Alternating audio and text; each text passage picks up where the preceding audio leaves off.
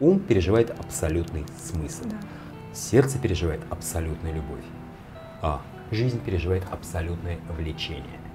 Не зря было, не зря будет, не зря есть. Тогда любовь становится твоим топливом, твоим мотором, твоим сердцем. Я очень люблю любовь. Прекрасно.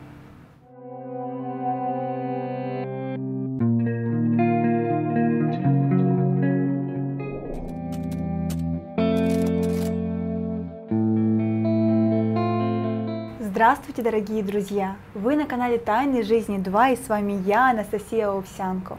И сегодня у нас в гостях Ян Спартак. У тебя не так давно случилось большое чудо. О, да. У тебя Какое родилась именно? дочь. А, Одно из, такая. да, Нет, это главное. да, это главное. Одно из главных.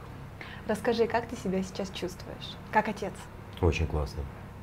Ну, это по-настоящему чудо, то есть, э, учитывая то, что это все-таки живая богиня, которая родилась не в том смысле живая богиня, а в настоящем смысле этого слова, смотришь день за днем, как она развивается, как она существует, как из самых первых импульсов э, производятся вот те движения, а, которыми она будет расти, которыми она будет существовать. Это удивительно интересно, я у нее многому учусь. э. Ну и, конечно, знаешь, такая прямая любовь, то есть прямое вот, э, погружение ну, еще одно измерение а, высшей любви. Конечно, это прекрасно, мне это очень нравится. Сейчас как раз сегодня вот наш день нашей съемки и два месяца. Два месяца. Поздравляю вас. Благодарю. Я много раз слышала от мужчин, которые становились отцами, о том, что когда появился в их жизни ребенок, они наконец-то познали ту самую любовь, которую до этого они совершенно не знали. Как у тебя это происходило? Изменилось ли твое ощущение любви с появлением ребенка? Ну, у меня все-таки есть сын, который уже взрослый сын, и когда он родился, я помню, а, когда я с ним катался с коляской по парку, именно тогда у меня было вот первый раз ощущение в жизни того, было откалибровано то переживание, которое называется просветление. А, 2003 год. Но сейчас все это происходит на тех новых уровнях, на которых сейчас нахожусь. Знаешь, в них так непросто вложить в какую-то вот э, то, что просто рассказать словами. Если отвечать, конечно, много очень изменилось. Это невероятно, невероятно красиво. То есть любовь, э, когда ты в ней живешь, когда ты искренен по отношению к ней, в ней, с ней, это гигантская сила. То есть это энергия, которая становится силой. Мне давеча на вебинарах задали вопрос, вот любовь это энергия или сила? Э, И энергия это нечто, что просто есть везде, а сила это то, что применяется именно куда-то. Так вот, любовь это энергия, становящаяся силой. То есть энергия разлитая, которая так или иначе становится силой при помощи разных рычагов, в зависимости от тех людей, существ, которые, которым она применяется. Если бы ты мог описать любовь двумя словами, что бы это было? Или, например, даже одним? Абсолют души.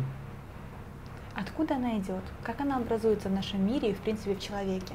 Потому что многие люди, они принимают за любовь нечто другое. То есть это обладание другим человеком, обладание вещами. И когда этого не становится в человеческой жизни, то человек начинает грустить, и так он говорит, что я это люблю, и когда я без этого, то я начинаю грустить. Это любовь. Так ли это на самом деле? Хороший вопрос, он довольно имеет глубокую все-таки теоретическую основу. Напомню, у нас вот есть несколько планов э, бытия, в которых э, выражается вот изначальный. Это прежде всего жизнь, прямая жизнь, это душа и это ум. То есть это вот материя, которая по-всячески в разном при, как бы существует, она составляет, когда она начинает жить, радость жизни. Вот она дает прямую радость, материя такая радостная. Когда на ней сверху появляется грудная клетка, начинает биться сердце, оживлять. А для него появляется внешнее и внутреннее. Вот для души появляется внешнее и внутреннее. Для материи нет внешнего и внутреннего. Для растения оно слабо отделяет себя от ветра и от земли. То есть нет вот такого растения, которое понимает, я вот это растение, вот это мой листик, такого нет. Оно существует как совокупность неких процессов, которые расположены в одном месте, да, питаются солнцем, да, питаются землей, но его существование это просто радость. А когда появляется душа, ну, то есть бьющееся сердце, и центр чувствования, появляется чувство, эмоции, появляется биохимическая форма жизни. И грудная клетка, она фактически ограничитель вот этой первичной радости. Она разделяет мир на внешнее и внутреннее, на то, что снаружи и то, что внутри. И вот та радость, которая приходит снаружи, она называется любовью. И, конечно, она может быть разная. Это может быть и любовь к вещам, просто это будет очень такая маленькая, дешевая, никчемная и недолгоживущая любовь. Может быть, э, любовь э, Бога и к Богу, это будет любовь совсем-совсем большая, совсем-совсем вечная, но, возможно, недостаточно греющая. И все ее формы переходные от э, любви к блохе до любви к Богу. То есть, получается, есть несколько уровней любви. Я думаю, что, как и в любой системе классификации, будет то количество уровней любви, а, которое ты выделишь задачами, которые ты хочешь увидеть. То есть любое выделение на уровне, оно является производным от взгляда наблюдателя, который может его наблюдать. То есть, если человек, который любит свою машину, да, вот он, скорее всего, он там будет смотреть диаметр его выхлопной трубы, чтобы именно полюбить ее нужным образом. Но другие части, его любовь вряд ли распространится, будет ее воспринимать сквозь призму вот этой машины. Но Бог это какая-то такая другая машина. Женщина это машинка там другого класса, требующая немножко другой смазки, другого обеспечения. Дети там другие машинки. Все зависит от тех эталонов, а, с которыми сознание сравнивает э, образцы. Но тем не менее у нас вот есть вот эти три базовых уровня нашей организации бытия, опять-таки. Жизнь, душа и ум. И в каждом из них э, Точнее, их вот сочетание, это изначальное сочетание, оно дает вот такие три проводка, там, да. синий, красный и зеленый, которые, завиваясь, рождают разные косички, разные узорчики. Вот наша ДНК это две спиральки, а это такая тройная спиралька. И вот э, эти тройные спиральки, они не, как бы не бесконечного вида. И поэтому в том же санскрите выделяется там любовь кама, это любовь такая земная, сексуальная, любовь прия, это такая вот любовь сердца, это когда приятно. Даже санскрит, он близок к, к славянским языкам к русскому в частности. Любовь према, это такая божественная любовь.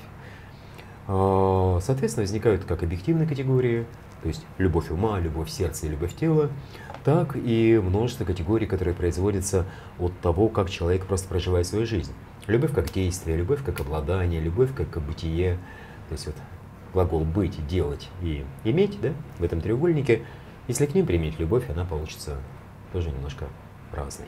А вот эти три уровня любви, да, санскрита, они могут, получается, переплетаться и соединяться в одно целое? Ну, желательно бы. С одной стороны, вот есть богиня Сарасвати, богиня знания, такая жена э, бога-создателя Брахмы. Она кама прадая, превзошедшая каму, превзошедшая вот эту любовь, э, э, ну, самую первичную такую, где там, как называется, старый добрый Сунь-Вынь, извиняюсь за использование термина из романа «Заводной апельсин». Любовь свойственна всем – хорькам, сусликам, хомячкам, птичкам, бабочкам. Это инстинкт, получается? Это инстинкт. Конечно, это просто инстинкт.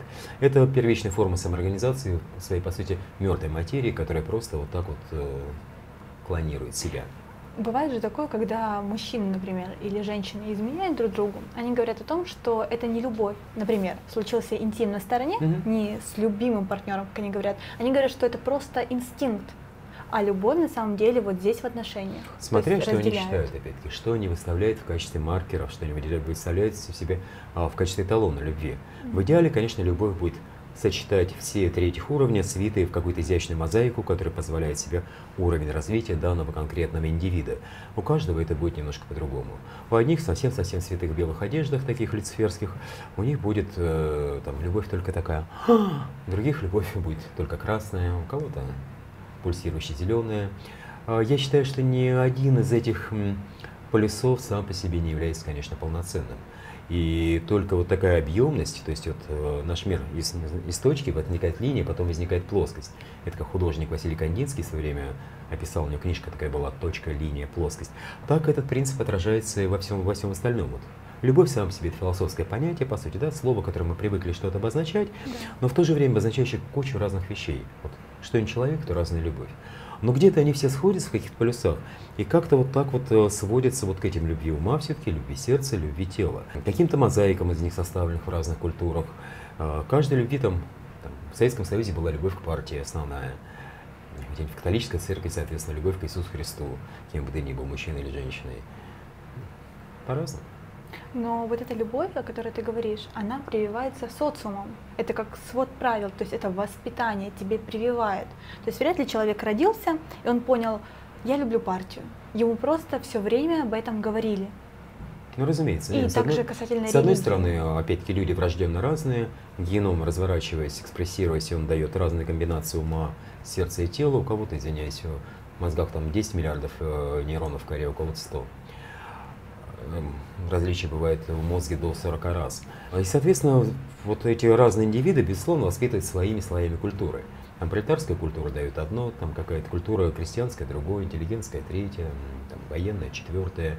В военной культуре любовь будет генералом, а в культуре с приматом, опять-таки, такого социалистического начала, с социальным институтом, капиталистического начала цель любви будут всегда деньги, и не будет так щелкать в глазках, даже если человек смотрит на, на женщину, будет вычислять, сколько подоходного налога с него надо будет заплатить ему с пользованием этим э, существом, которое вовремя должно ответить «да» на три правильно поставленных вопроса.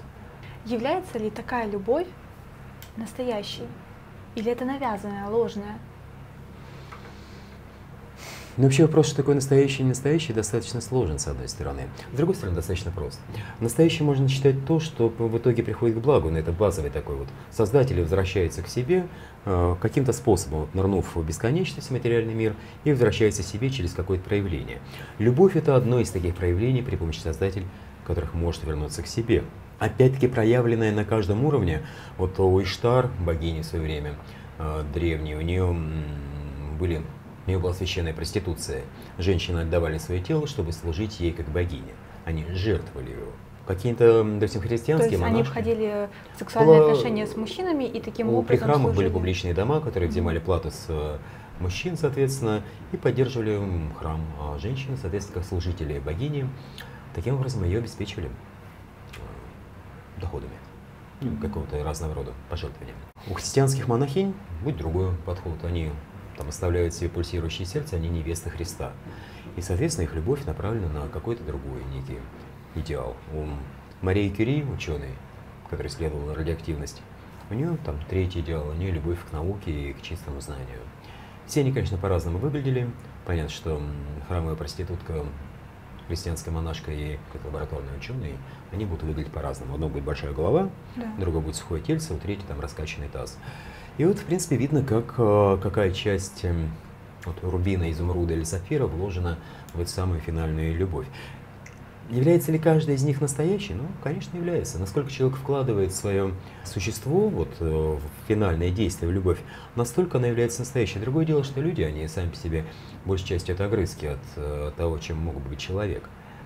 Ведь, знаешь, вот есть такой синдром Даннинга-Крюгера – он говорит, может быть, немножко не о том, но он говорит о том, что человек с низким уровнем развития не способен понять, что он, у него низкий уровень развития. Он думает, что он высокий. Просто все, у кого он выше, это какие-то дебилы, неправильные. Это вот, знаешь, если ты суперкомпьютер, ты общаешься там с маленькими компьютерами, с калькуляторами, ты понимаешь, что это компьютер такой, это калькулятор. А вот калькулятор, он думает, что это тоже калькулятор, просто странный. В нашей галактике 200 миллиардов звезд примерно. Еще 100 миллиардов так называемых коричневых карликов – вот коричневый карлик – это звезда, которая просто не, хотел, не хватило массы, чтобы загореться.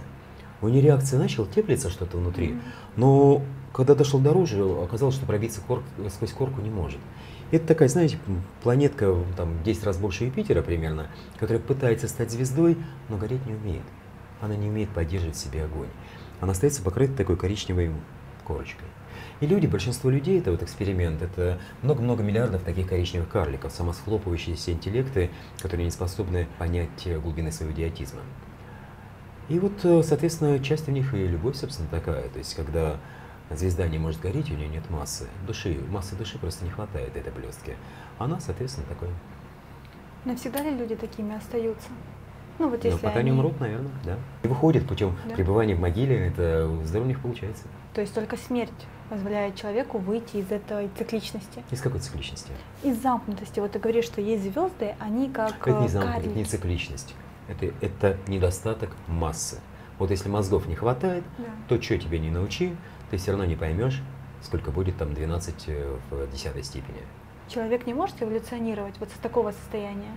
В рамках его текущей жизни, конечно, нет. Он уже реализует свой геном. этим. Это обусловленность Конечно. получается. И некоторые люди, а может ли человек об этом подозревать? Ну, то есть он может это Чем понимать, он тупее, что... тем он меньше это подозревает. Вот у меня в детстве была самая страшная книжка, она называлась «Цветы для Алжернона».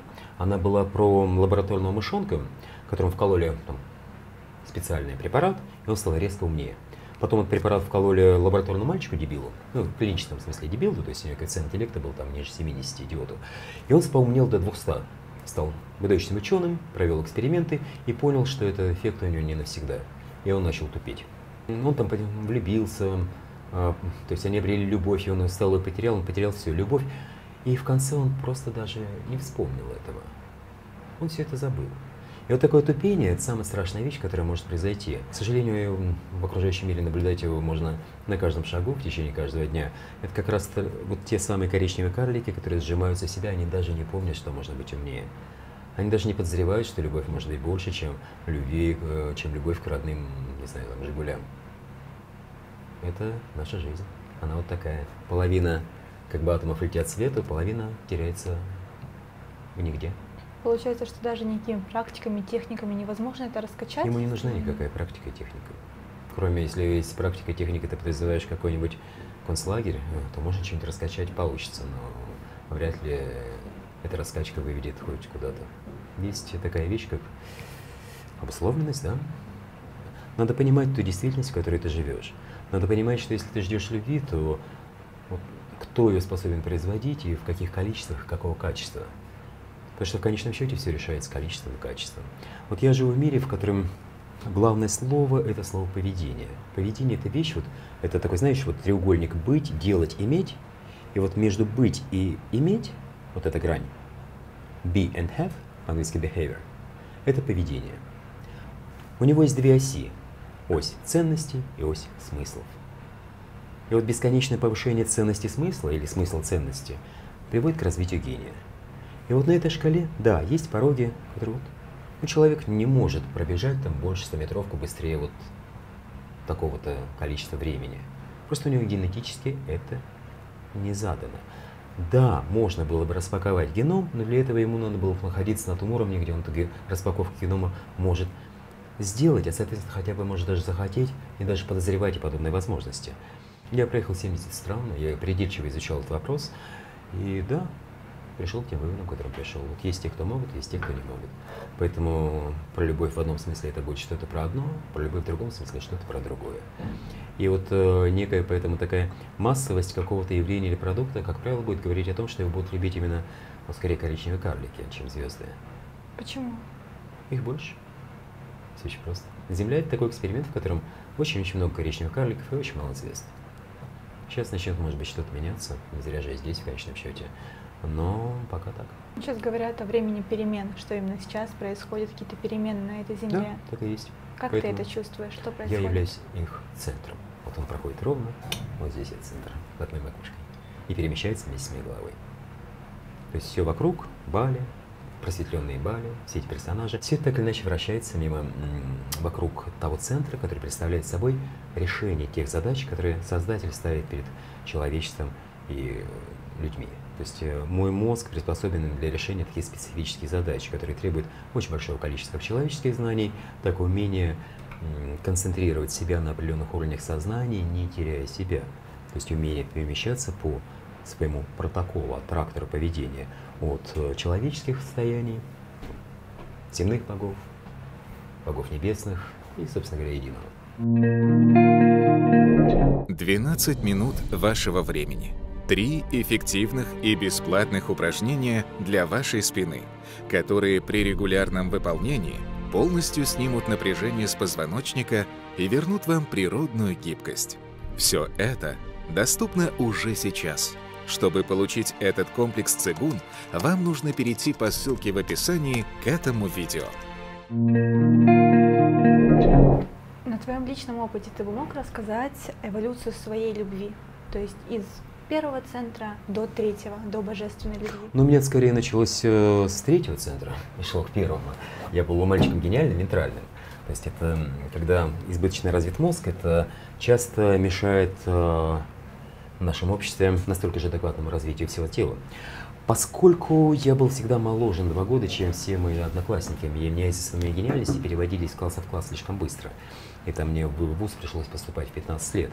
Поэтому я в каком-то смере был достаточной степени оторван от а, той сексуальности, которой предавались мои соклассники, когда у них пубертатный период прошел, и они стали сексуально активны. Поэтому первые мои идеи любви были, конечно, очень идеалистическими. Они были почерпнуты из классических произведений, из книг, из некой романтической литературы. Женщина для меня представлялась чем-то таким, о, что такое же, как ты, только другое, что-то соединится, получится. Потом у меня было пять браков, э, в каждом из которых отдельная часть э, любви прошла свои испытания, точнее в четырех из них, а в пятом все вместе. Отдельная часть любви, что ты имеешь в виду?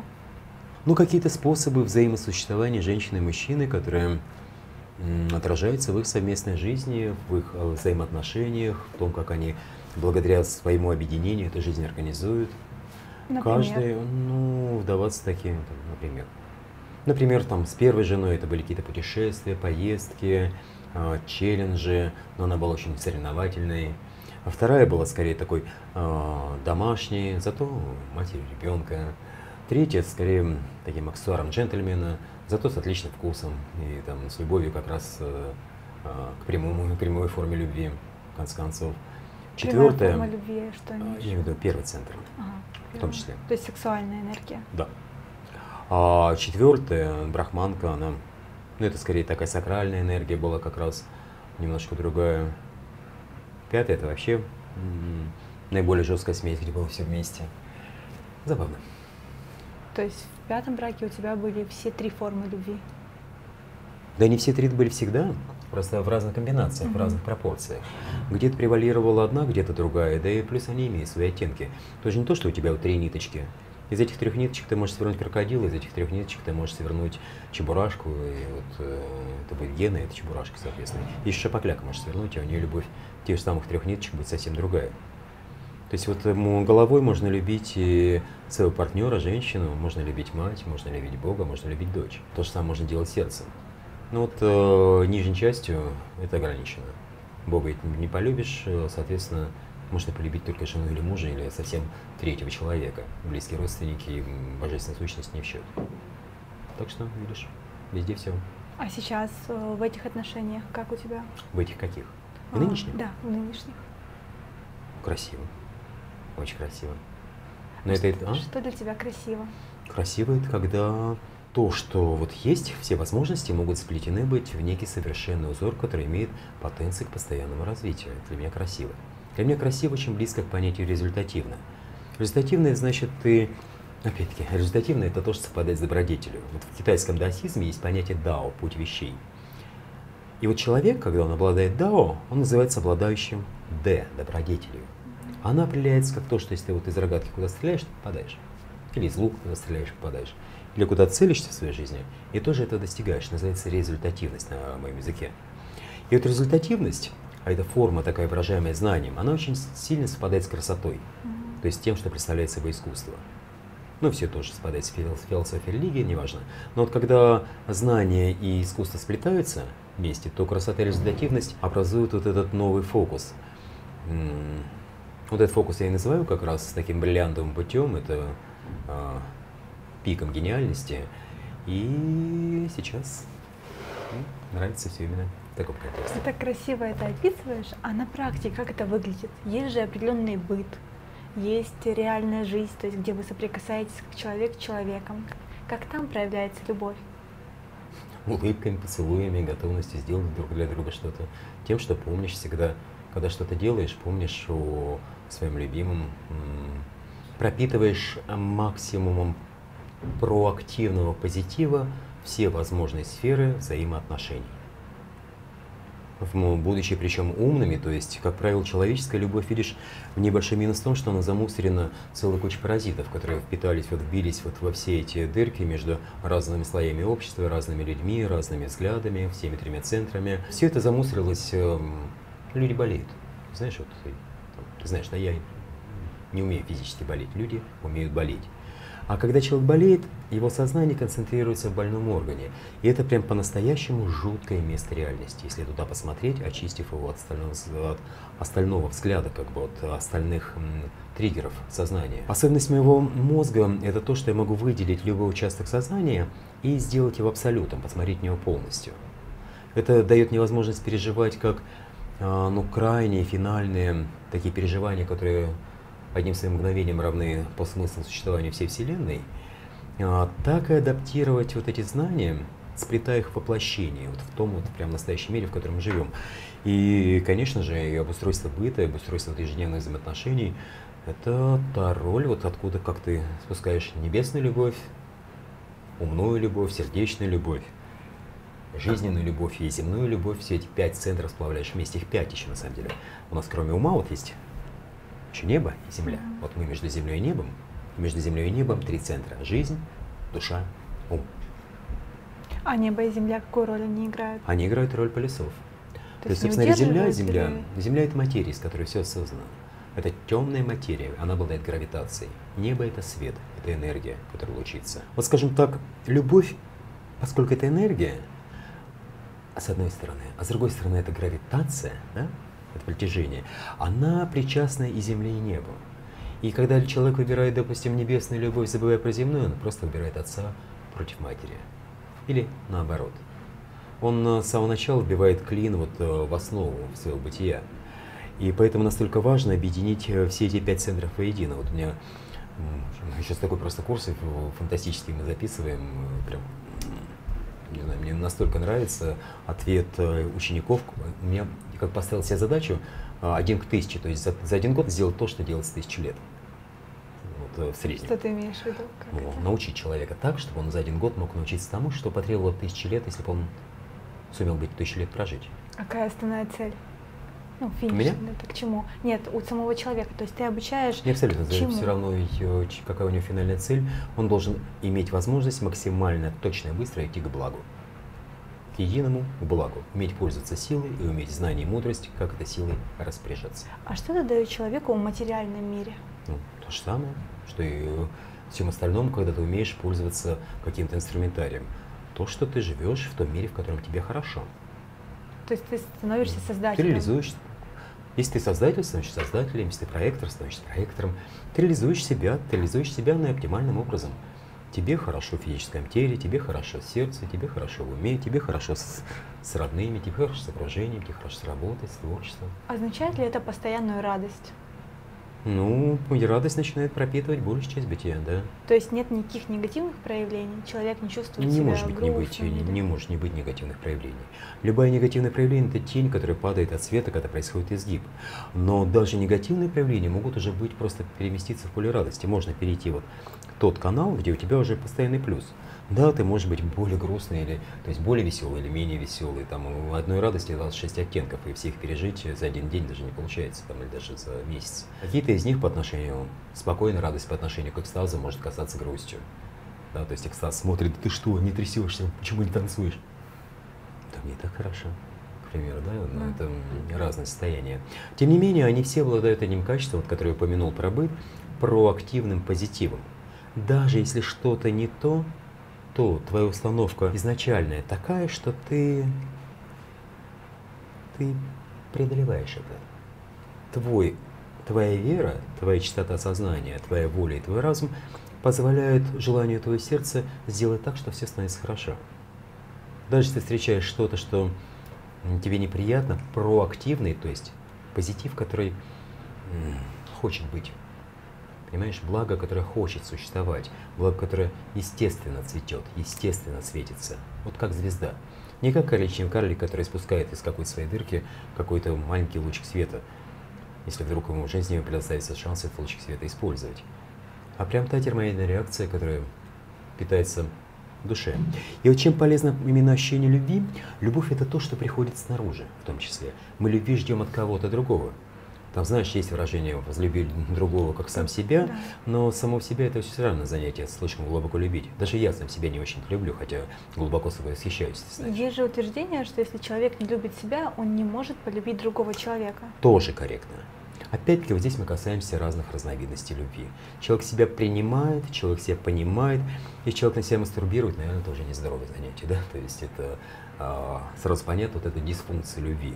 И, наверное, так им любить других не стоит. Опять-таки, надо понимать, что вот в санскрите было проще. Кама, прия, према, вот что у тебя?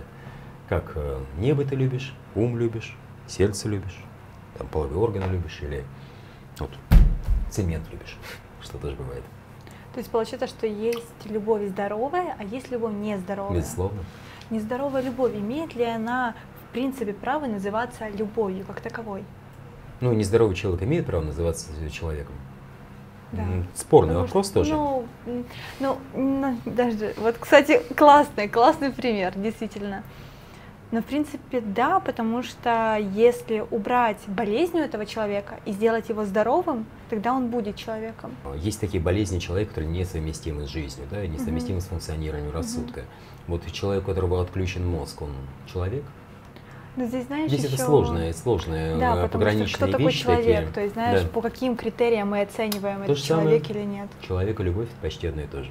Просто есть, почему я спросила про нездоровую любовь. В психологии, в принципе, рассматривается несколько категорий. И, например, есть любовь, которая связана с травматикой. Да? Для некоторых любовь — это боль. Либо же есть какие-то детские психологические травмы, и человек воспринимает это как не что-то благостное, а только через проявление, где он страдает. Ну да, то есть у него доступ к любви закрыт скорее, ему требуется, там, не знаю, пойти в квартал красных фонарей с большим стропоном, чтобы ему а, как-то пробудилось вот это чувство. Да, это травмы, детские травмы, это консервная банка, в которую запихнули человека. Но опять-таки, у человека, которого вырастили в консервной банке, вот получилось то же самое. Вот у него, знаешь, у древние инки выращивали так детей. То есть им ногом прям сажали в, в сосуды в глиняные такие, и они вот так вырастали. Для каких-то сакральных целей использовались. Или, к примеру, надевали на голову глиняный горшок, так, чтобы Да. голова сформировала такую вытянутую тыкву. То есть мозг формировался каким-то особым образом. Такие примеры в истории человечества довольно нередки. Такой пример. Это эволюция или это деградация? Вроде это что-то новое. Да, Ты знаешь, же прежняя хотели- цивилизация, вот, э, индийские цивилизации, они по своей природе очень жестокие. Может быть, э, если бы они развились, они бы рассматривали как это эволюцию. Но это был бы страшный мир, конечно. Опять-таки, гаджет в кармане – это эволюция или деградация? То, что человек на калькуль... без калькулятора не может умножить два числа – это эволюция или деградация? Я не знаю. Зависит от того, что считать цель эволюции. Видишь, создатели же используют эволюцию как один из инструментов. Эволюция – это некая закономерность. Она протекает, точнее, эволюция – это процесс, протекающий между законом и случаем. Вот у нас есть закономерность, как ДНК делится, а есть мутации, такая мутация кармы, случайности, которые вклиниваются и вызывают разнообразие вот этих первых клеток. Но потом еще он берет, и иногда создатель сдает экзамен Всевышнему, Всевышний смотрит на это, «А!» Так, стирает что-нибудь, и на Земле там 800 миллионов лет назад происходит кислородная катастрофа, 60 миллионов лет назад умирают динозавры, где-нибудь там 7,5 тысяч лет назад э, творится мир, Экзамен это какая-то конечная точка эволюции, Последний день, который будет, получается? э, когда, собственно говоря, все закончится. Он известен по всем авраамическим религиям.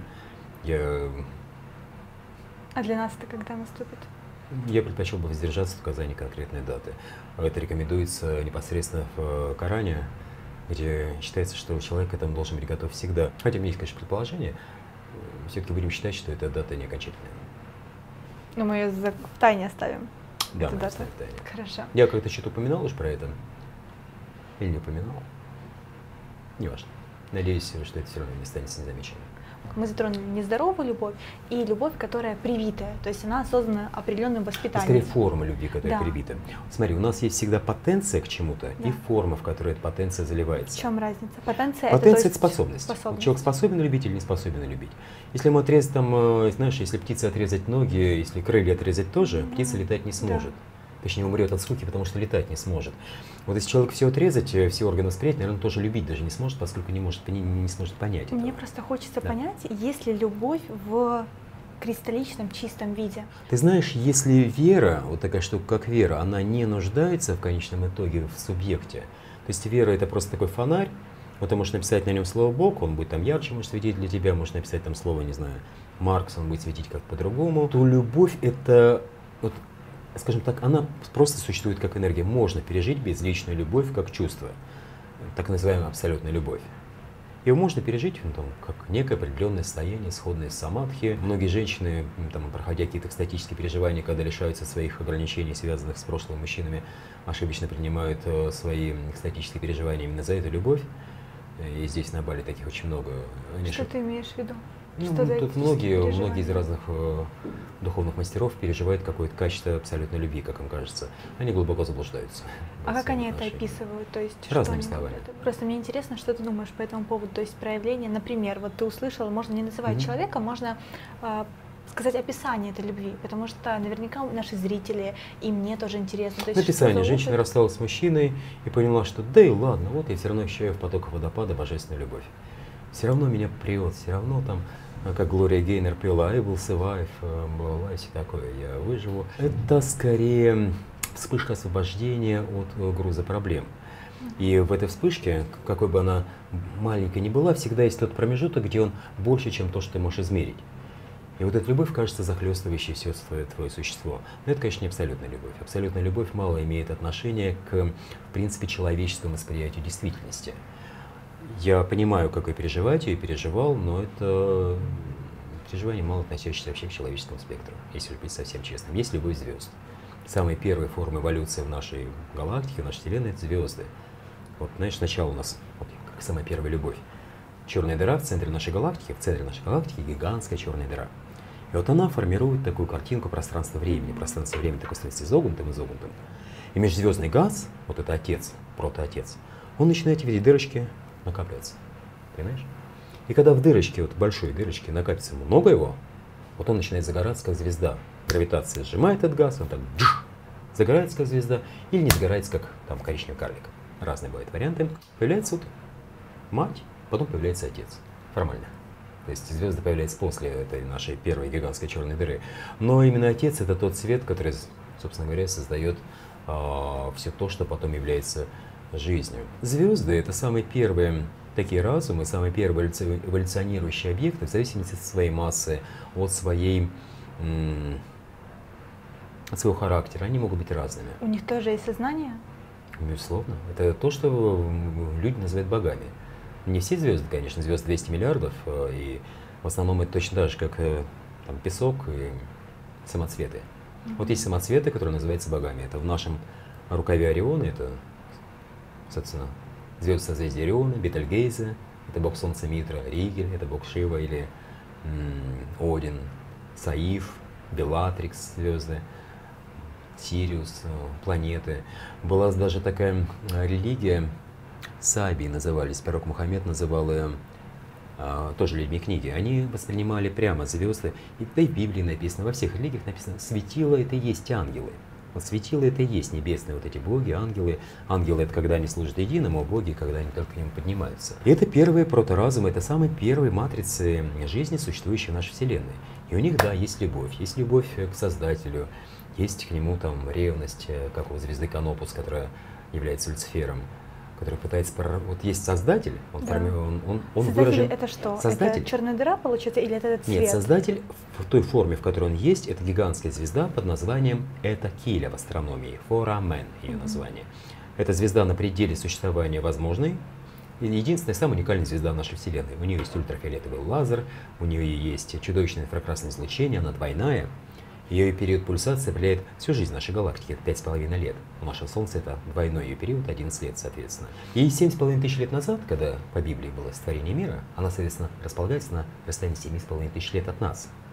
И Но вот нашей ровно- галактике, получается. Наши, наши, да, 7,5 тысяч лет э, всего световых. И вот э, 100 лет назад примерно, 140 лет назад, 150 лет назад, она выбросила из себя порядка 30 солнечных масс, образовав такую двойную спиральную туманность гомункул, который называется человек. И, собственно говоря, в этот момент на Земле произошло то событие, которое называется сотворение мира, то есть появление в людях души. Вот этих обезьянок социальных.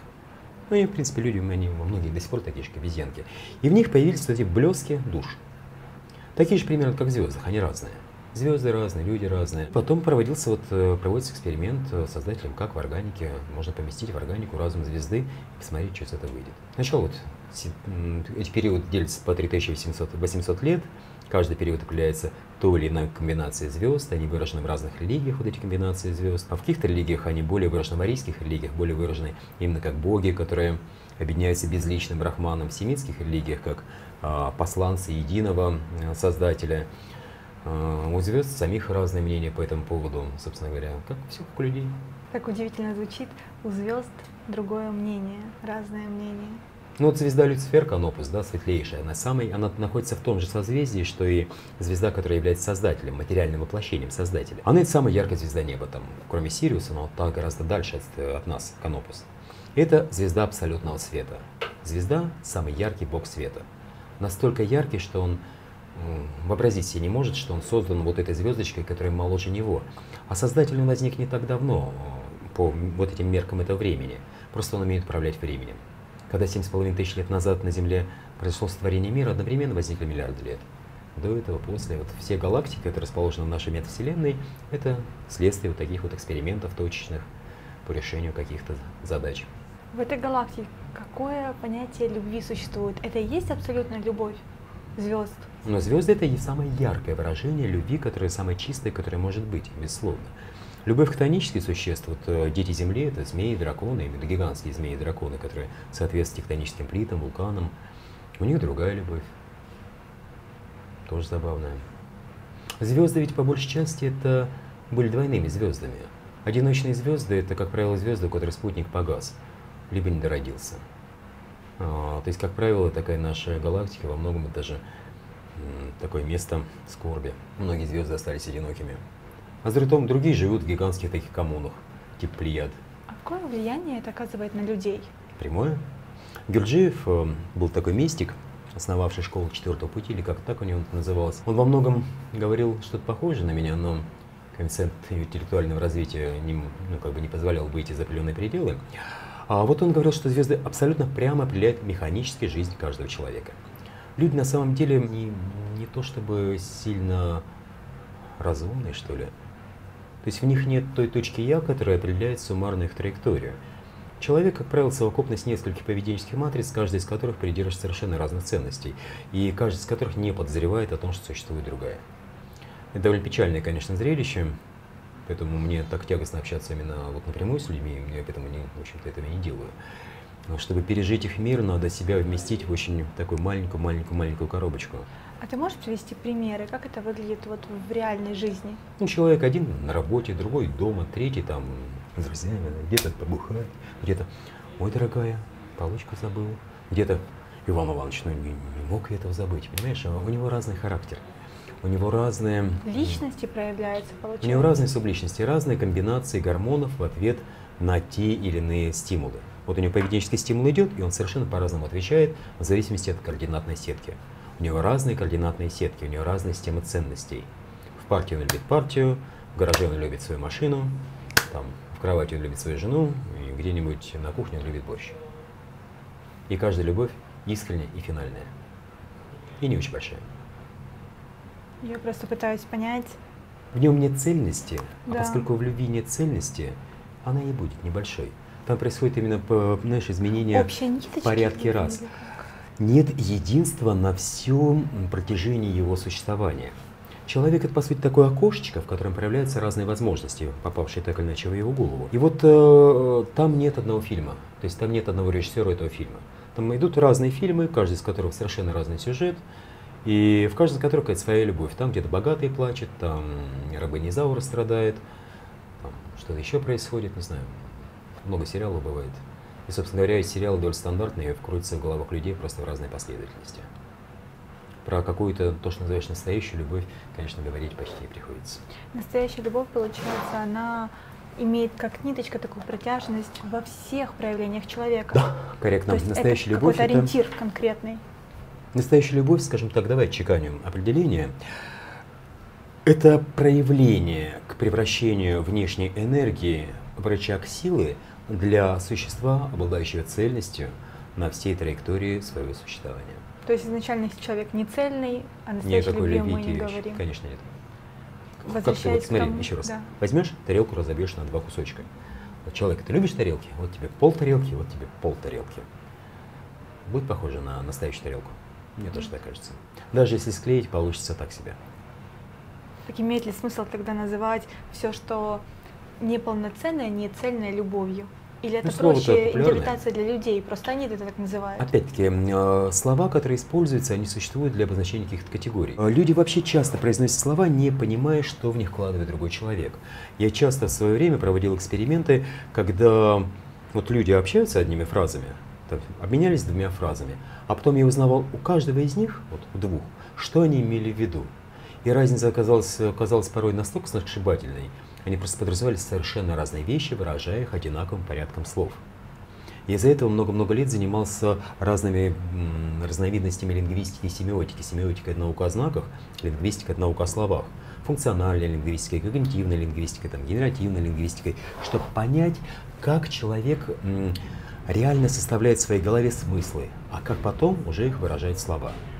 И тогда уже понял, что да, смыслы в головах у людей бывают разные, и слова не могут быть использовать разные для этого. И потеря, вот испорченный телефон происходит на каждой кусочке этой цепи. И в итоге не остается ничего практически. То же самое, я могу тебя понимать совершенно по-другому, наши зрители тебя по-другому понимают, Безусловно. а говоришь ты вообще Меня понять вообще-то, на самом деле, я с, с большим скепсисом отношусь к идее того, что меня кто-то вообще может понять именно так, как я того бы хотел. А для этого надо обладать э, слишком, а, большой эрудицией, б, уровнем развития, в, слишком индивидуальным жизненным опытом, это невозможно. То есть э, любое понимание меня будет так или иначе прощением. Просто я вот, допустим, воспринимаю слова, но ведь слова это просто, ну это по факту ничего, это просто звуки. Это оболочки, это да. фантики, в которых могут завернуться совершенно разные конфетки. Да. Если мы с тобой обменимся одинаковыми фантиками, но не разворачиваем их, можем верить, что конфетки примерно там есть, и примерно, либо ты мне три шоколадки, а я тебе там, три карамельки. На самом деле там может лежать что-то совсем другое. Знаешь, мы просто а, даем информацию для людей, которые живут там в странах СНГ, да, находятся, ну вот у них материальный мир, быт, вот он есть. И для них а, вот эта глубина, она для некоторых кажется просто недостижимой. Но я делаю выводы из комментариев. Я же упомянул, в зависимости от э, коричневых карликов, опять-таки на Земле, да. конечно, пока безусловно больше. И это неотъемлемая часть нашей реальности, и более того, ну как бы она из этого стоит. Когда ты являешься наилучшим, ты, ну, ты являешься наилучшим среди чего-то всегда. То есть если бы наши пляжи были усеяны, усеяны самоцветами, то ценилось бы ну, какие-нибудь супер самоцветы тогда, да. самоцветы размером бы со скалу и так далее, и так далее, и так далее. Мир так построен, что он всегда стоит из лучшего и худшего. То есть, ну, знаешь, вот первое, когда вот Вообще наш мир самое глубокое понимание – это взаимодействие линии и точки. Линии и точки. Одномерного объекта и одномерных, вот как двух одномерных объектов. А сути. можешь привести пример, чтобы было более понятно? А, ну как, это пример самых глубин оснований бытия. Вот если в самых-самых-самых такой пиковой медитации идти вглубь, то увидишь, как линия и точка пытаются соприкоснуться и увидеть себя. Вот когда линия, там, по-разному заряженная, попадает в себя, притягивает к себе, знаешь, как змея, которая хватает за хвост, в этот момент появляются mm-hmm. циклы, струны, космические творения Вселенной появляются. Это вещь, которая происходит еще до создания. Я не думаю, что имеет смысл об этом говорить, это слишком все-таки сложный предмет. Я его касаюсь, в принципе, иногда в своих вебинарах, но более, более подробно касаюсь в курсах, где это необходимо. Но, как правило, в моих курсах, конечно, участвуют люди, которые все-таки являются уже достаточно хорошо развитыми. Вот сейчас как раз курс мы прошли «Самодержись я», где вот касались установки пяти кристаллов, вот этой пузыря нашего существования хрустального шара, кристаллы земли обсидианового, рубина таза, изумруда груди, сапфира ума и небесного бриллианта, они послужили, служат такой операционной системой, вот, которая как раз и усиливает вот эти первые качества любви и радости. А, который в организме человека есть. И сейчас второй курс «Властелин мира», ну это совершенно фантастика. То есть это все-таки как действительно уметь управлять внешними событиями, внешней реальностью, не на основе того, там, войди, там, сделай как-нибудь так, бла-бла-бла, все такое, а, как бы реальный, реальный меч, реальная технология. Мои ученики получают в свои руки, ну, как бы реальное орудие, реальное оружие. Я хочу, чтобы у них еще развивалась мудрость, знание. То есть, если ребенку дать в руки меч, он возьмет что-нибудь себя оттяпает. И в моей практике я был когда-то президентом Федерации спорта самураев, когда учил рубить острым мечом, у меня там пару учеников все-таки себе что-нибудь такие оттяп, оттяпали, ударили один под колено, другой по стопе. Кровь, слезы, забавно. А рубинные кристаллы, о которых ты говоришь, что это такое? Это элемент операционной системы. А, операционная система – это то, как ты при помощи сознания управляешь своим телом, духом, материей. А, ну, ты заметила, как очень хорошо себя чувствую во всех видах окружающего пространства, mm-hmm. коммуникации и прочее. Это операционная система. Их у меня много разных. Операционные системы там для управления телом, для боевых искусств, для танца, для ощущения мира, для созерцания. Вот э, в курсе «Самодержец я» мы пытались как раз поставить ту точку, которая сможет прожить всю траекторию, вот которая сделает человека цельным, которая поднимет его резко на уровень выше, то есть которая из осколков творения да, сделает его душу цельной. То есть тогда... соберет абсолютно даже все проявления любви. То есть, ну, к примеру, он нас сделает его потенциальным к их проявлению. Никто не вправе обещать человеку, что за него кто-то что-то сделает. Его смысл существования как души – это что он что-то сделает, благодаря тем счастливым обстоятельствам, в которые он попадает. А Бог всегда представляет шансы. Надо лишь уметь вот этот первый голос слышать и уметь ими пользоваться. Внешний голос, внутренний голос, не знаю, там, обрывок радиопередачи, обрывок какого-то телевизионного образа, что угодно может послужить тем триггером, который как бы начнет начало цепи удивительных случайностей. Я в себе в свое время, когда вот просто решил жить только чудом, да, я жил закономерностью и случаем, э, я прям вот ничего не делал до того момента, когда вот не будет чуда. Вот ровно только чудо.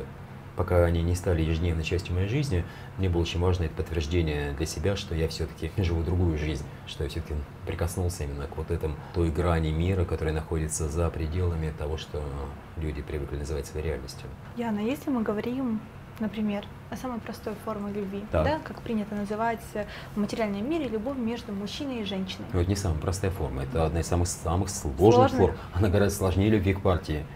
Это я точно могу тебе сказать. Любовь к партии это несложно. Это сел на пятиминутках там, послушал политпропаганду и там где-нибудь что, что надо подписал, там мы там за нынешнего президента или там за кого. А любовь мужчины и женщины как раз самый сложный вариант любви.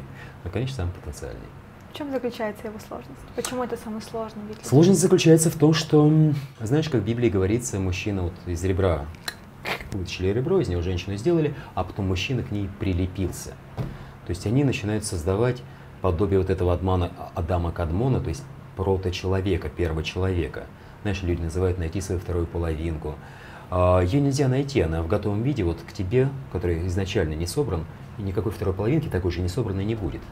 Понимаешь, мы вспомним в прошлом, что да. люди это осколки, собранные вместе случайным образом. Это такие бусики из э, там, 4-5 стекляшек. И вот считать, что к этим бусикам есть вторые такие же бусики, это сам по себе довольно глупая затея. А вот к цельной траектории, когда эти бусики становятся ожерельем, цельным уже, вот к этому, да, вдруг каким-то чудом оказывается возможно вторая половина. Но она является плодом не просто вот такого, что «А, я таки дождался». Нет. Это то, что называется паритет, пад с Богом. 50 на 50, честные 50 на 50. У тебя 50% твоего бытия. Ты живешь не просто Божьей милостью, как баллонка повернулся пузиком к небу. Вот тебе Господь, я тебе отдаюсь. А ты вся такая больная, несчастная. Нет, ты это делаешь в пике своего расцвета. И тогда ты выполняешь все, что должен ты сделать, ты вкладываешь себя в свою жизнь. По-честному. И Бог делает то же самое. По-другому не бывает. А если мы возьмем пример с баллонкой? Ну вот да, То, что есть люди, да, которые вот переворачиваются, типа, вот Бог Да так, нет, Бог всех любит одинаково, по большому счету. Нет, я имею в виду, вот если человек не цельный, а, не раскрывается угу. в полном своем проявлении, а в принципе вот у него, ну, живет на 10% из своих 50, да. да, которые нужно проживать, получается, что к нему притянется такой же человек, да, подобное притягивает подобное, обычно так говорят. По-разному бывает, знаешь, вот здесь э, вероятнее всего, да, чаще всего, да, они образуют какие-то классы субъектов, но есть люди, которые там знаете, у нас общество довольно перемешанное, у нас оно не строго стратифицированное, как в средние века, там были только, только аристократия, только там крестьяне из одной деревни. Там бы, да, там за время сосуществования в рамках какого-то круга потянулось бы именно подобное. Сейчас время более хаотичное, и люди стыкуются по меньшему категории признаков, а потом еще не успевают оглянуться, уже поженились, родился ребенок, а потом они поняли, что у нас характер оказывается разный. А как стыкуются люди, как они притягиваются друг к другу? Потому что говорят, что, например, а, по карме, да, что нужно пройти этот путь с человеком. То есть, к примеру, а, мужчине нужно было отработать какие-то уроки, женщине тоже нужно было что-то отработать. Это облаская шиза, это все очень мило, mm-hmm. это любовь, которая от ума идет. Mm-hmm. Люди притягиваются там половыми гормонами. Есть такие половые гормоны. Только вот без есть... получается. Здесь играет роль даже со всей любовью ума, если это не женщина, к примеру, это электрический чайник или самовар, то ты к нему, может быть, и притянешься, но он тебя электричеством стукнет. Поэтому половые гормоны играют все-таки существенную роль. Даже в условиях педрастических пар, то есть э, они все равно там кто-то из них более мальчик, кто-то девочка. Если, не дай бог, оба не то и не то, то, наверное, пара такая существует недолго. Хотя я знаю пример наших знакомых, мне сегодня рассказали, два, двое мужчин, которые живут вместе, ссорятся как пара живут как пара, мирятся как пара, а вот э, любовью занимаются с девушкой на стороне. чтобы любовь, в которой может человек прожить в рамках так называемой обыденной жизни, Да. имел хоть какое-то отношение к абсолюту, но чтобы этот сам человек имел хоть какое-то отношение к абсолюту. Чтобы это было не комок плоти, в котором как-то теплится жизнь непонятным образом при помощи фармакологии, и мечется беспокойный разум, э, не знающий, чем предпринять в следующий день, а чтобы в нем душа воплощалась в нем. Вот он, человек, был бы воплощенной душой, то есть хотя бы воплощенной душой, а в идеале еще воплощенным умом. То есть это был такой замечательный Платин, или и за ним еще его далекий ученик Прокол Диадох. Это философ э, школы неоплатонизма. Там наиболее самая именно разработанная теория о том, что такое, кто такой единый и что такое благо. Вот любовь это некий путь к самому, самому финальному благу, да, один из путей. Путь в основном проходящий через сердце. Потому что в уме это другое немножко. Любовь ума это другой тип экстаза. Любовь плоти это секс. Любовь души это то, что люди обычно называют любовью. Любовь ума это гений. Понимаешь? Гений, что имеется Гений, гений это то, вот как выражает себя ум в своем максимуме. Это гений. Гений это абсолют ценности и смысла. Любовь Это я. ума это не обусловлено что-то, что как бы ум говорит, это нужно любить, потому Это что. применение ума к любви. Мгм. Еще раз. Любит душа, любит Да. сердце всегда. Да. Половые органы могут испытывать возбуждение, ум может испытывать привязанность определенного рода, концептуальная. Вот ум может пытаться загнать сердце в свои рамки, там член или вагина могут пытаться сердце за собой э, вести как э, бодрый жеребец или кобылка куда-то по своим целям. Сердце может просто там тихо биться, замирать. По-разному бывает. Кто главный? Сердце, Все. ум. Все, прости.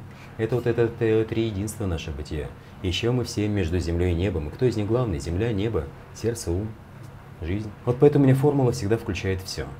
То есть, э, на мой взгляд, э, особенность человеческого существования является именно умение провести вот эту свою траекторию, не только стать цельным, а еще уметь ее провести по всем этим пяти полям существования. Еще уметь воплотить э, воплощение в настоящей твердой материи, да? Да. уметь э, находиться в контакте с Духом Неба, с Богом, причем в контакте желательно постоянном, время от времени переходящим в экстатический, но никогда не покидающий спокойно. Умение находиться в контакте с своим умом, который будет развит до уровня гения. Умение находиться в контакте с своим сердцем, которое будет открыто любви. Умение э, как бы иметь огонь в чреслах, как выражались в старину. Это все одно и то же в какой-то мере. Это некое вот то, что я пытаюсь сделать, линия наилучшего в любых обстоятельствах. Вот я, если кратко меня взять, там делал, что логотипчики переделали новые, наилучший. Я изначально преследовал цель. Вот как стать в том, чего ты до сих пор не знаешь, как стать сразу наилучшим. То есть как изобрести вот тот метод обучения чему-то новому, понимание новой структуры знаний, умения, чтобы достигнуть наилучшего. Очень просто. У тебя получилось соединить эти все пять уровней? Да, конечно. Это ощущение, оно стабильное? То есть ты в один момент соединяешься и все время находишься в? Нет, а стабильным, надеюсь, оно станет достаточно скоро. А сейчас оно значительно более стабильное, чем было когда-то. То есть оно самостабилизирующее. Так как звездная реакция, вот она загорается, и она начинает само себя поддерживать. То есть она начинает после определенного порога все больше сгущаться к себе. Именно поэтому становлюсь неким таким совершенно особенным существом, уже мало, ну, хотя бы внешне еще достаточно хорошо похож на человека. Шаг за шагом это становится, ну, как бы все лучше и лучше. Как у тебя получилось соединиться? Для этого этому посвящены целые там, часы моих интервью разных. Это путь, которым я шел всю свою жизнь, начиная с самого детства. То есть и это это не путь, одна которым... практика? Да, не одна практика. То есть волшебной таблетки так, чтобы соединиться, нет. Это же годы твоей работы над собой. Десятки лет. Десятки. да? Мы приглашаем вас на авторский марафон медитации от Яна Спартака «Самодержец Я». Это первый в мире онлайн-проект по медитации, когда подготовленная заранее визуальная графика будет наглядно показывать все нюансы. Куда нужно направлять внимание, в каких точках будет течь энергия. Даже если до этого вы никогда не медитировали, у вас точно получится. Самодержец Я – это курс для тех, кто готов стать хозяином своей жизни, принимать решения, исходя из внутреннего чувства направления. Ссылка на регистрацию уже в описании к этому видео.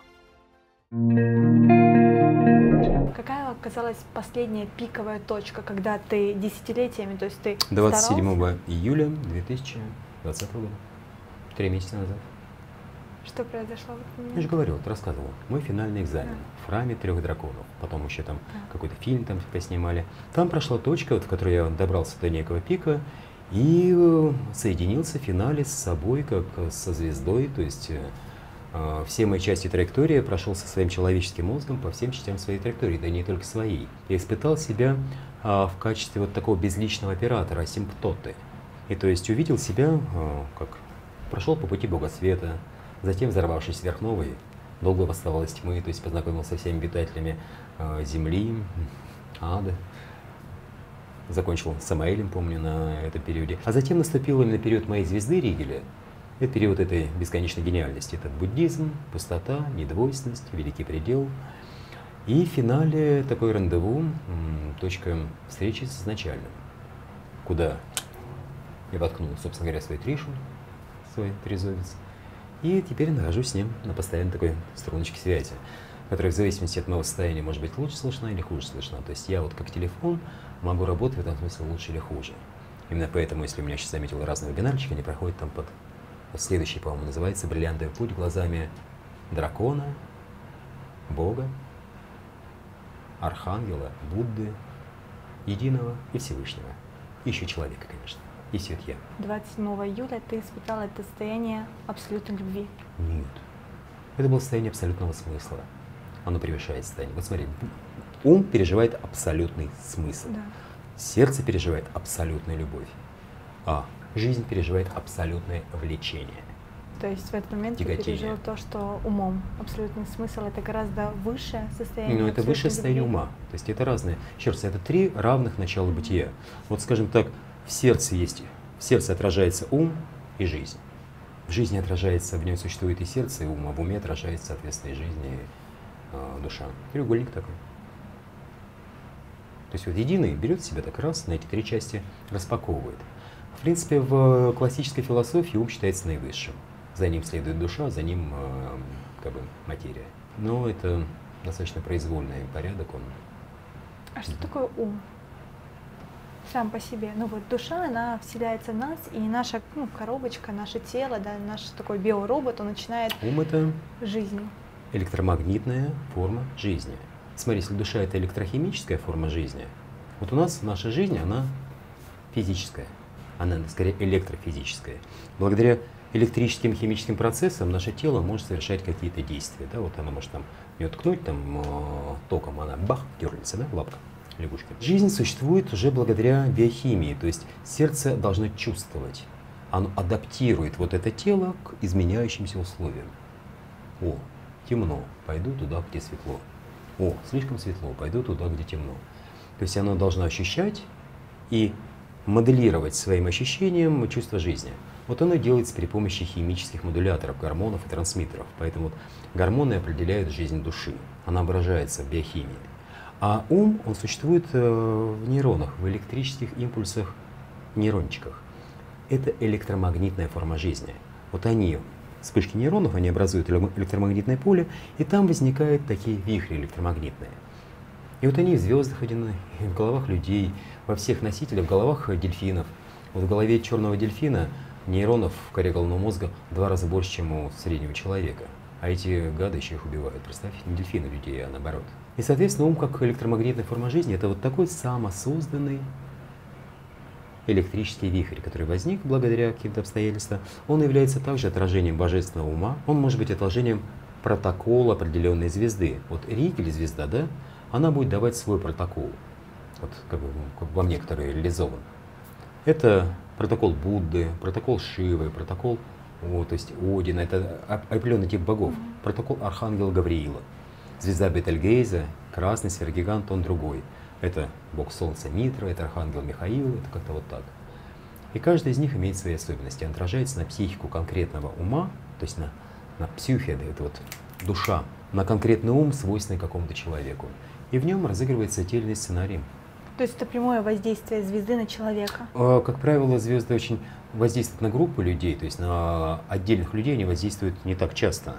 То есть есть любимчики какие-то, вот Бетельгейзе, там Архангел Михаил или Митры, он всегда воздействовал на крупных царей каких-то, да, вот в истории России это Иван Грозный, Владимир Ясное Солнышко, Петр Первый, Сталин, Путин, вот эти вот. Правильно ли я понимаю, что звезды имеют сознание, которое имеет право решать, с кем сейчас контактировать на Земле, с конкретным человеком или же нет? Но еще имеет потенцию это сделать или нет. В зависимости от типа и класса звезды, она может либо уметь это сделать, либо не уметь сделать. Вот Ригель звезда гениальная. Она состоит из пяти компонентов, поэтому у нее получилось сделать то, что вот э, появился я. Ну и, соответственно, стал для создателя таким уникальным инструментом, а, сквозь который он может испытать э, себя в наибольшем количестве возможностей. Благодаря сумме моих знаний, даже как человека и потенции моего мозга. Я такое уникальное существо в истории всей Вселенной, и в прошлом, и в будущем. А пять компонентов этой звезды это какие? Главная звезда Ригель – это 20 солнечных масс. Парная звезда Ригель Б и С. Они воплощались как богиня Минерва или Афина. И звезда Ригель Д – это она воплощалась как Будда Гаутама, как Лаудзи, Будда, Будда Падмасамбава. И пятый компонент – это туманность, называется голова ведьмы. Там располагается небольшая черная дыра под названием Хель. Это вот один из двух ходов в которые попадают неудачные души. Я правильно понимаю, если мы, к примеру, а, взглянем с точки зрения астрономии, угу. то это есть у нас в галактике? То, что да, ты вот взял телескоп, посмотрел. Можно в Гугле набрать, посмотреть, как выглядят фотографии, конечно. Вот набери звезду Форамен, да, и посмотришь. Она скоро взорвется, скоро будет э, излучение сверхновой, Бетельгейзе, скоро Бетельгейзе будет сверхновой. Конечно, они скоро будут сверхновыми, разумеется, и та, и другая. И это прелестно. Какое влияние они оказали на твое появление? Прямое. Yes. Как бы, я появился благодаря этому плану. Которое было у сознания звезд. Именно. Какой был план? Создать меня. Как проявление чего-то нового на этой земле. Как способность человеческого мозга впервые в своей истории доэволюционировать до той степени, когда количество нейронов в его коре и в сумме в теле будет примерно равно количеству звезд нашей галактики.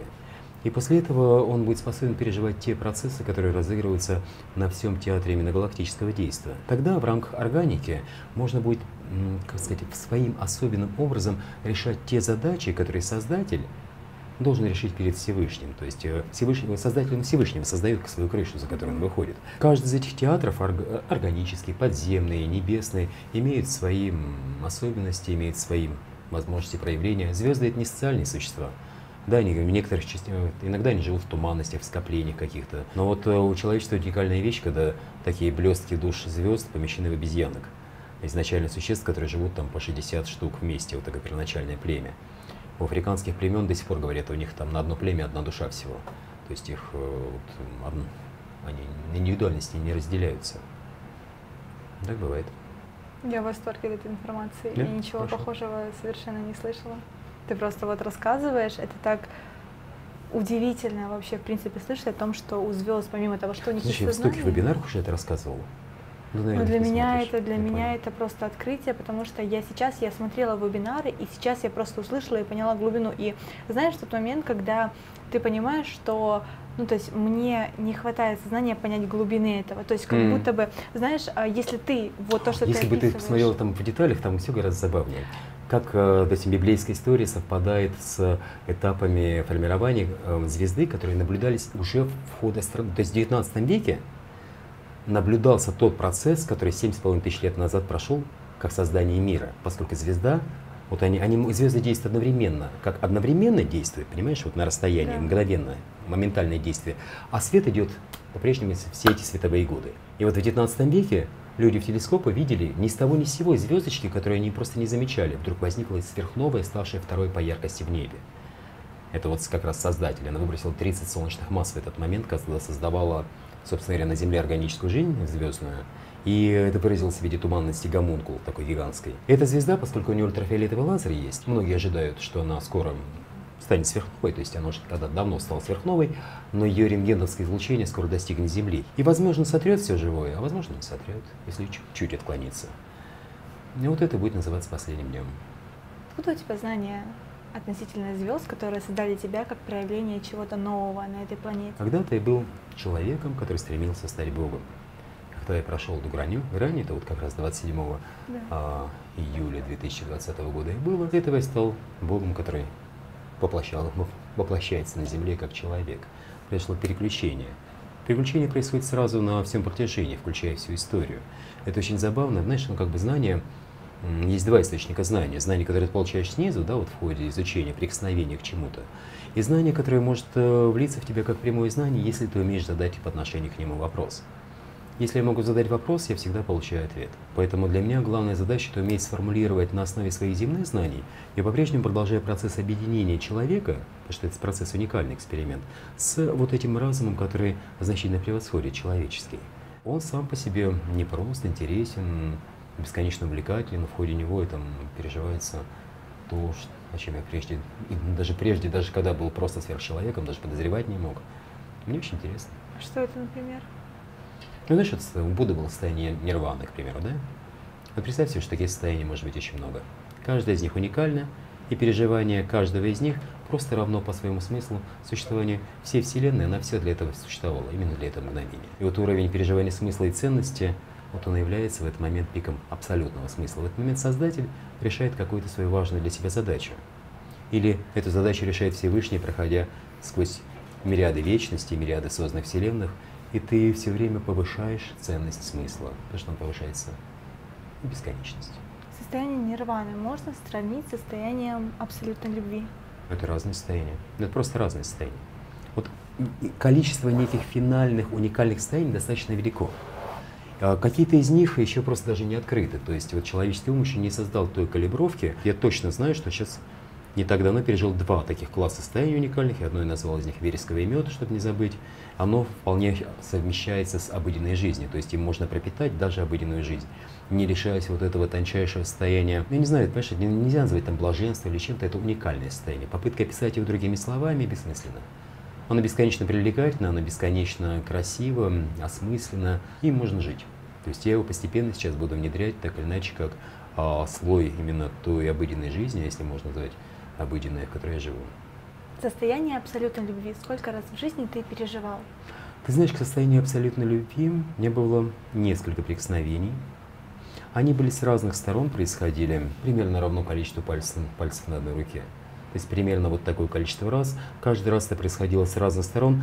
И опять-таки оно было обусловлено тем, что моя нервная система вот, э, способна ну, в своей базе переживать вот некие сверхсостояния просто как, своим, как мое базовое качество. Mm-hmm. Именно поэтому я прошел как, тот путь, который прошел, эволюционировал вот таким неким особенным способом, хотя даже для этого мне понадобились там десятки лет. Но если бы у меня этого качества не было, даже десятки лет э, прошли бы даром. А в какой момент это происходило? Ты знаешь, э, одно из этих чувств было любовь к маме, любовь к Богу, любовь к любимой женщине, любовь к дочке. Это происходит в моменте, то есть ты просто смотришь на объект и испытываешь эту любовь, и ты понимаешь, вот это чувство абсолютно любви, Скажем оно так, раскрывается. Это динамика, где ты начинаешь испытывать любовь, и где у тебя есть возможность выхода в пик, который... Точка. Вот она занимает точку, и этот пиксель, вот ты в пиксель попал, и он занимает всю Вселенную. То есть ты, а, тебе надо в него испытать состояние, где ты к этому пикселю прийти можешь, то есть не иметь искажений, иметь возможность получить хотя бы вход в эту любовь. Второе, тебе надо в него попасть, в этот пиксель, уже в рамках этого качества, то есть уметь найти его. В рамках всей вот этой достаточно большой, знаешь, вот э, там, сковородка любви, на ней маленькое зернышко вот этой абсолютной любви пиксель. И в-третьих, уметь ее пережить. То есть уметь задержать на нем внимание свое в этом пикселе на то, на то единственное вечное мгновение, когда оно переживается как абсолютно вечная ценность. О каких искажениях идет речь? Ты говоришь, избавиться от всех искажений, чтобы найти Я ту говорю самую. о том, что человек представляет себе бусики из э, разнородных осколочков. Что-то там от консервной банки, какая-то бусинка с одного пляжа, пробка Кока-Колы. Так. Эти искажения, они формируются, опять же, воспитаниями социума или это что-то другое? Ну, это призма человека получается, то есть как он Ну, воспринимает судьба человека, его. то есть вот то, что он есть к моменту рождения, те его гены, которые есть, то, как он пожил в животе матери во тьме, то, как он потом родился и как его воспитали, все играет свою роль, то есть это называется генезис, антогенез и эпигенез. Но те практики, которые ты даешь, они помогают человеку убрать все лишнее, убрать искажения и найти все-таки тот самый путь любви. Я бы скорее все-таки по-другому сказал. Они помогают ему осознать свою линию, на которой он существует, закрепить себя на нем ее. То есть это, я стремлюсь, ведь видишь, создать не просто какие-то практики, я стремлюсь создать самые гениальные в истории человечества инструменты, которые позволят за несколько лет реализовать ту задачу, которую не смогли реализовать тысячелетиями. То есть создать все-таки для Всевышнего тот смысл существования человечества, без которого последний день наступит достаточно быстро. Ставя перед собой такую задачу, я стремлюсь создать именно гениальные инструменты. В них воплощается вот э, вся сумма того опыта, который был достигнут всеми великими учителями, начиная от Пифагора, Платона, Будды, Лао Цзэ, Христа, пророка Мухаммеда, мир ему. Много. И, конечно, мой бесценный уникальный опыт собственный, уже включая последние, ну вот, собственно говоря, последние месяцы уже существования Абсолюте. Мне нравится, что это получается. Мне нравится, что это откровенно получается. Вот если я уже прикоснулся к чуду в себе, прикоснулся к чуду в своих любимых, и мне хочется прикоснуться к чуду в своих учениках. Вот я, ты, ты знаешь, да, что вот те, с кем я работаю, у них там чудесные результаты. Вот, да. Но с кем я лично работаю, все-таки до дотронуться могу. Да. А вот сейчас у меня та же задача, те, до кого я могу дотронуться только через объектив. Вот только уже искренностью сердца и ума. То, что ты называешь чудом, это максимальный потенциал человека, с которым Нет, ты чудо это работаешь? чудо. Есть, э, смотри, есть закон, закономерность, Да. есть случай, который изменяет закон, а есть чудо. Чудо это то, что делает случай максимально противоречащим закону. Вот здесь не могло быть новогодней елки возникнуть в этом месте, она возникла, да? То есть есть, например, генетически заложенный потенциал, который есть у человека, а чудо это то, что вышло за рамки этого А просто чудо, если в потенциала. нем загорится огонек его души, если догорится, он загорится драгоценным алмазом, то он изменит даже генетический потенциал. Потому что есть такая штука, как эпигенез. При помощи существования вот в нашей обыденной жизни можно менять экспрессию генов. Наш организм каждый раз заказывает из нашей генетической цепочки, какой ген ему распаковать. Это открытие в науке достаточно недавнее, ему вот буквально 21 век, но оно реально работает медитация работает, все это работает. Просто в, моем, как бы в моем опыте я объединил именно научное представление с вот э, десятками лет практики и нынешним опытом ну, реального чуда. Выходит, что даже коричневые карлики могут стать звездами. У коричневых карликов никогда не возникнет идеи ставить звездами, вот чем проблема. Для них звезд не существует. Для них звезды это странные коричневые карлики, которые зачем-то еще и пачкают светом. Знаешь, когда у Сведенборга был такой мистик, э, была небольшая притча, когда свет э, любви Господней попал на дно ада, он показался его обитателям зловонной лужей. Так вот, э, это ответ на твой вопрос. Яна, что случается, когда два человека, оба достигли абсолютной любви, оба цельные, встречаются друг с другом Они достигли абсолютной любви с кем? в одиночку? Или такого невозможно? Один М. человек не может достигнуть абсолютной любви вот на всех трех уровнях. Ты знаешь, мне же все-таки кажется, чтобы третий уровень был включен, да, вот э, нужна бы все-таки пара минимум. То есть третий уровень мы имеем в виду сексуальный. Ну, Да, это же То есть желательно. это интим. Иногда интим бывает таким, что он доступен всей публике. А, Скажем так, сексуальное взаимодействие. Секс – это пол, половое взаимодействие. Все-таки любовь существует как источник энергии извне, но для чего? Как правило, любовь подпитывает жизнь, да? То есть любовь помогает жизни превзойти порог смерти.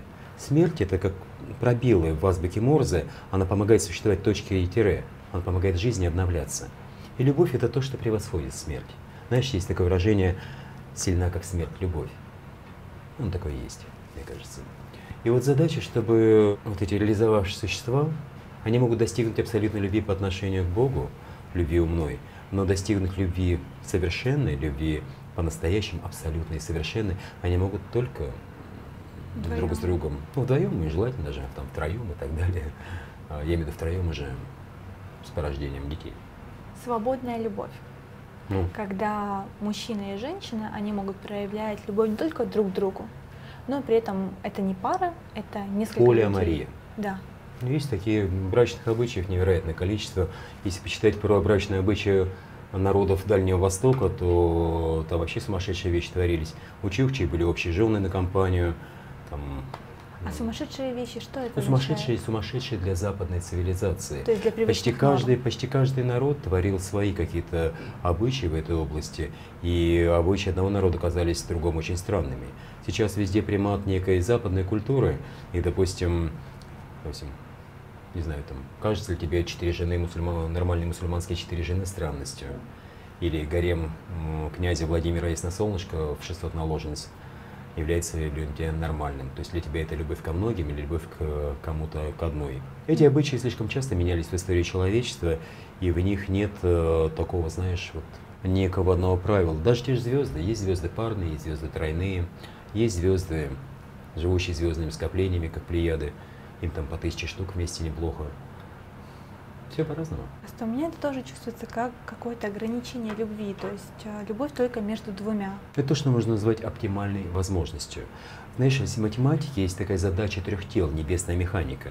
Вот как рассчитать движение трех тел относительно друг друга, это невозможно методами никакими, исключая приближенные методы или расчет на большом количестве компьютеров. Вот когда у тебя в любви начнут часто три человека, то они перессорятся очень-очень быстро. Есть только любовью занимается целое племя вместе. В одно из племен папуасов во время посвящения нового мальчика в мужчины его насилует по очереди все мужское население племени. Ну, не насилует, а занимается им любовью, передавая части мужского мужского достоинства какого-то рода, которое у них является ценным. Это тоже какая-то любовь. Так что, знаешь, любви все возрасты, расы покорные, у всех она разная.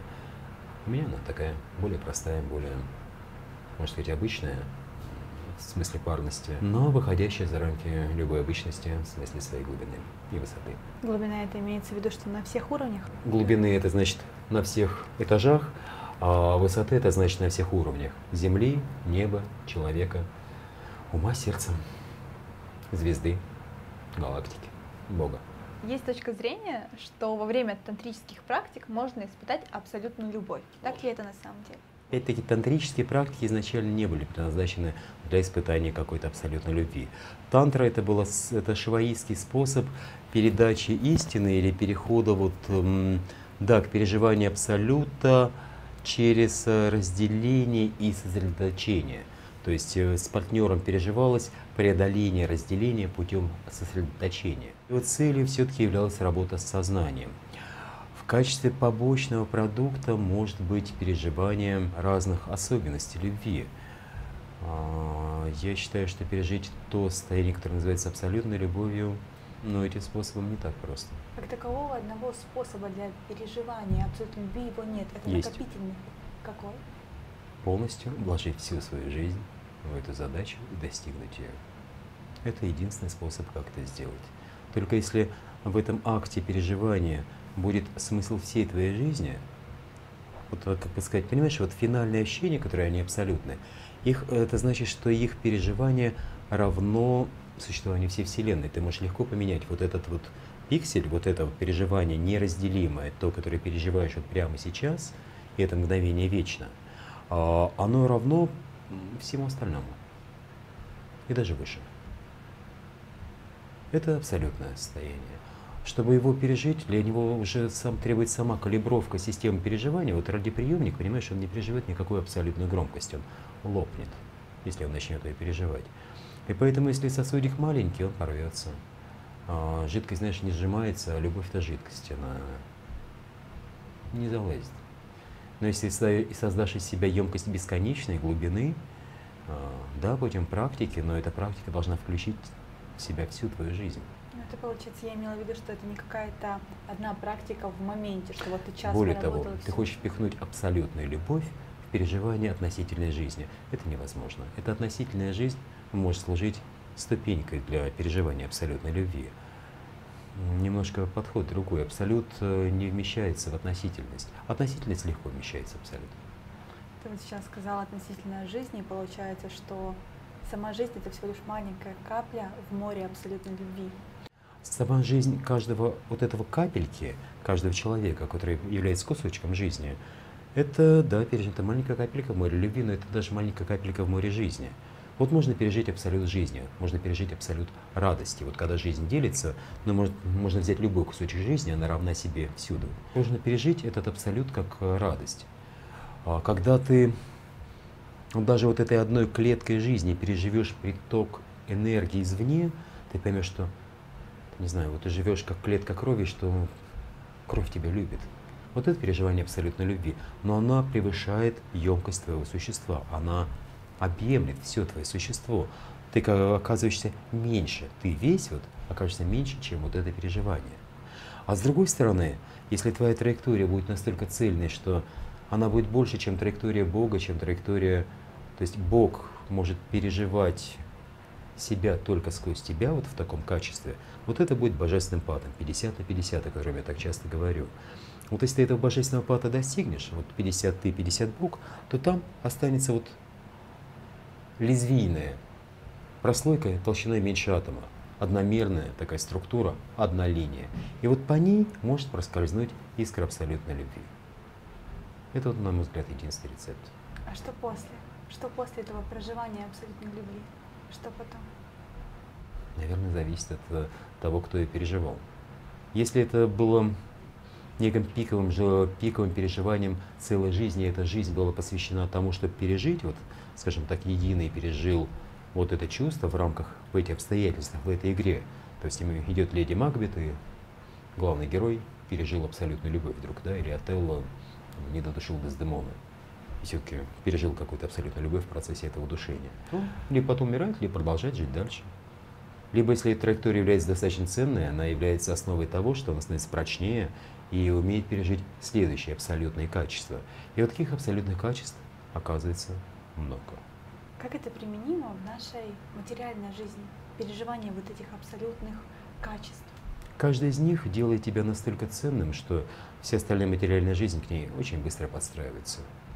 То есть ты настолько ценен для того, чтобы ты просто существовал, что уж э, в том, что касается бытовых удобств, можно даже не задумываться.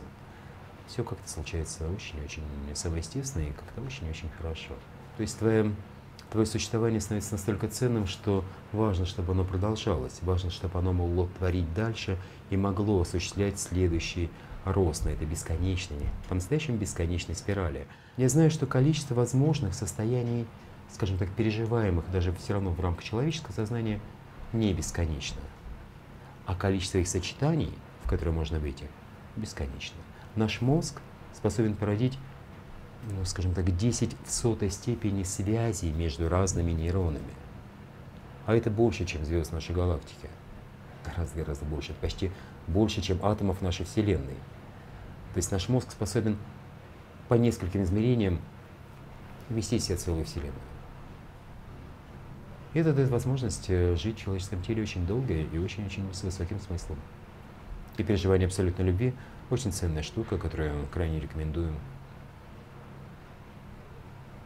прожить в этом вечном мгновении. Само переживание абсолютной любви, по времени сколько оно у тебя длилось? Само мгновение, в котором оно существует, оно вечное, оно, оно не имеет времени внутри. Это вечность, которая не имеет времени. Да. Ты можешь, оно само себя переживает вечно, в нем времени нет, оно выше времени.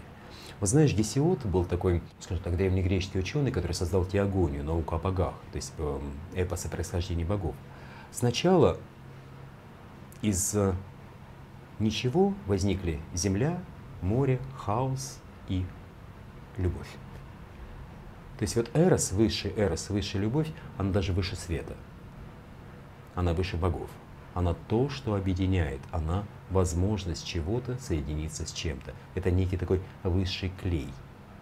Это высшая способность того, что ты понимаешь, что ты преодолеваешь свою обособленность, свою частность и становишься частью себя же в большем масштабе. И в этом смысле оно может опять-таки встраиваться в ткань твоего существования, а, становясь его структурой. Ты уже начинаешь опираться на это переживание, которое спускается, пропитывает разный уровень твоего существования. Конечно, чем чаще ты прикасаешься к этому чувству в разных обстоятельствах, а если смог прикоснуться к ним единожды, то можешь повторить это потом, повторив некие эти уникальные обстоятельства. Это можно сделать, если ты для этого способен, если ты позволяешь этим уникальным состояниям менять себя, если настолько понимаешь их ценность и обладаешь внутренней дисциплиной, желанием, стремлением расти, расти, развиваться, понимать, что ты существуешь не зря, что все это, все это не зря. Не зря, не напрасно было, не зря было, не зря будет, не зря есть. И тогда любовь становится твоим топливом, твоим мотором, твоим сердцем. Я очень люблю любовь. Прекрасно.